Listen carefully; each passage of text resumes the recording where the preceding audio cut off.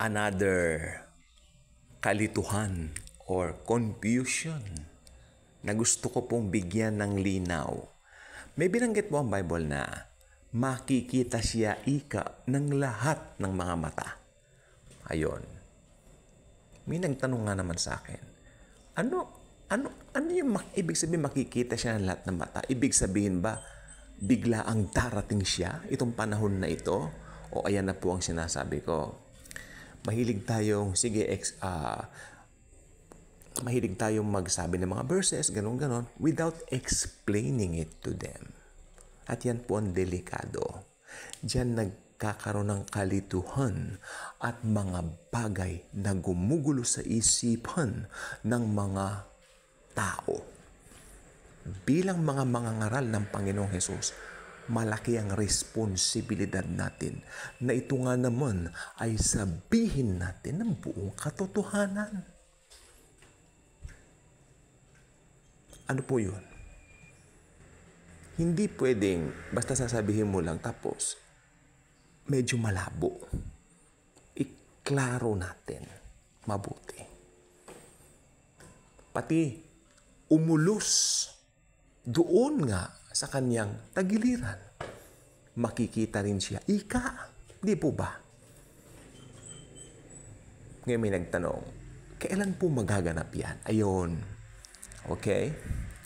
Now, if you don't rightly divide the scriptures, tapos, sige, preach ka, nasa street ka, preach ka, repent. May nakalagay kang repent, may nakalagay kang nakasabit dito sa liig mo na parang something like, ang dami sabi ni po niyan.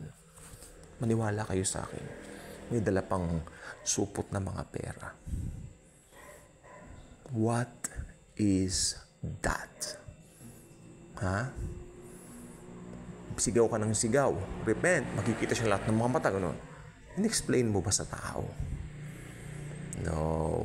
Hindi. Definitely hindi. Kasi hindi ako tatanungin ng mga ibang yeah, kakilala ko kung hindi kung in-explain mabuti sa kanila. Hindi po ba? Okay. Makikita siya lahat naman. Listen to this.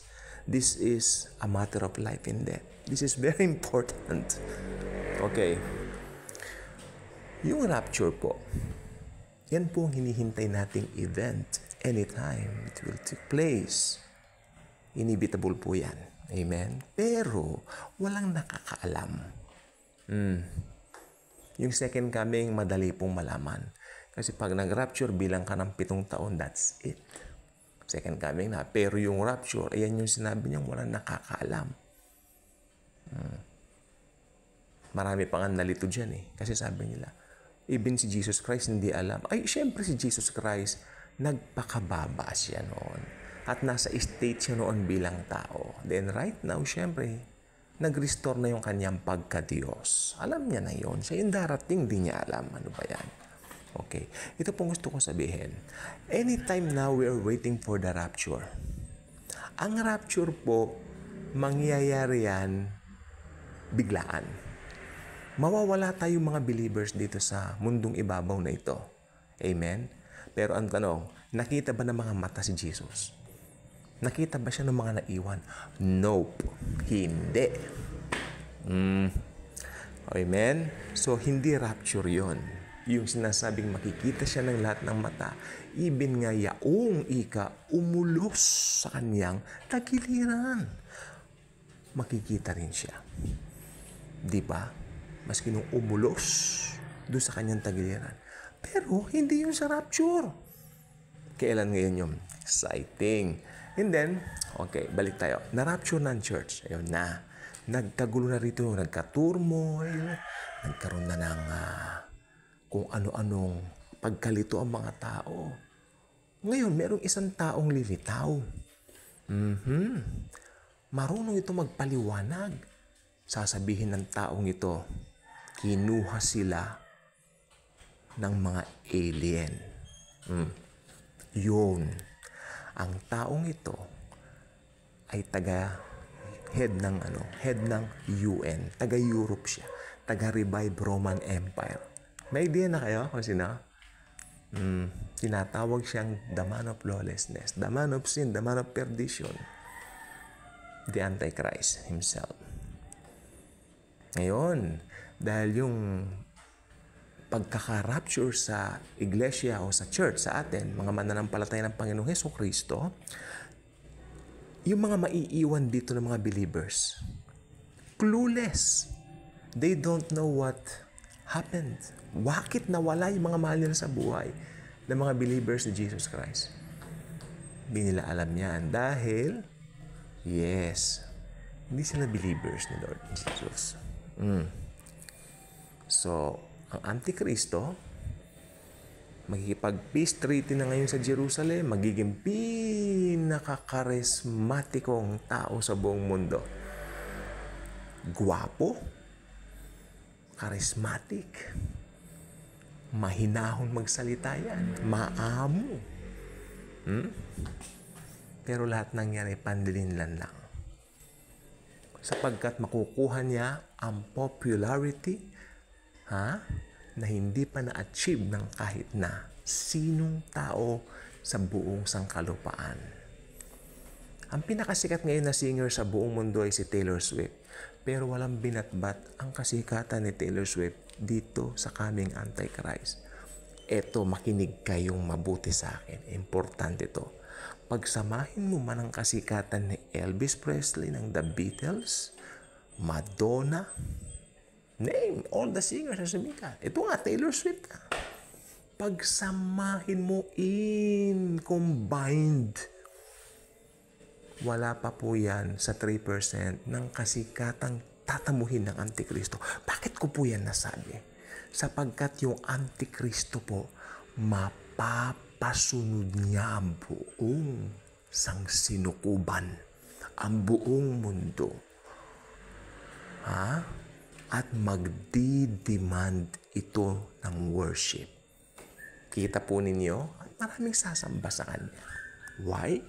Dahil meron siyang gagawin na taktika upang malaman kung sino yung mga magiging tapat o hindi nga naman tapat sa Kanya. Ito ay ang anim, anim, anim or 666 na tatak. Isa po itong microchips na ilalagay sa mga kamay during that time. I-inject lang po yun. Mga kapatid ko at mga kababayan ko kay Kristo. I-inject lang po yaon. Ganun lang po yun. At ito pong sasabihin ko, yung mga magpapatatak nun maiimpyerno na habang buhay. Ni wala na, ni kapatakman, ni kaunti mang pag-asa na maligtas. Wala na talaga. Doomed in hell, ika nga, di ba? So, yan po. Then after that, to make the long story short, ang Antikristo po sisikat pero magagapi siya ng Panginoong Heso Kristo doon sa end ng 7 years. ba? Alam naman natin doon sa kalagitnaan ng 7 years na yan, 3 and a half years, ipapahinto niya na yung mga sacrifices dito sa temple na mismong siya rin naman nagpa-build. ba? Tapos, ayun, ah, gagawa na siya ng mga kung ano-anong mga rules, tulad nga ng pagpatatak at yung mga hindi magpapatatak, papupugutan ng ulo. Pero magtatagumpay po ang kabutihan sa bandang huli sapagkat darating na si Jesus at wawasakin niya ang Antikristo pati yung false prophet na kanang kamay nitong halimaw na ito. Ano po? Okay? So, masasabi ko pa lang po, yung pagdating ng Panginoong Heso Kristo, yung second coming niya, yan na po yung umpisa ng tanong ko. Yan na po yung makikita siya ng lahat ng mata ng mga tao. Ayun na. I hope maliwanag po ito. Apo. Kasi para wala pong kalituhan. So sa second coming po pala yun, makikita siya ng lahat ng mga mata, maski nga naman nga ika, iyaong umulo sa kanya.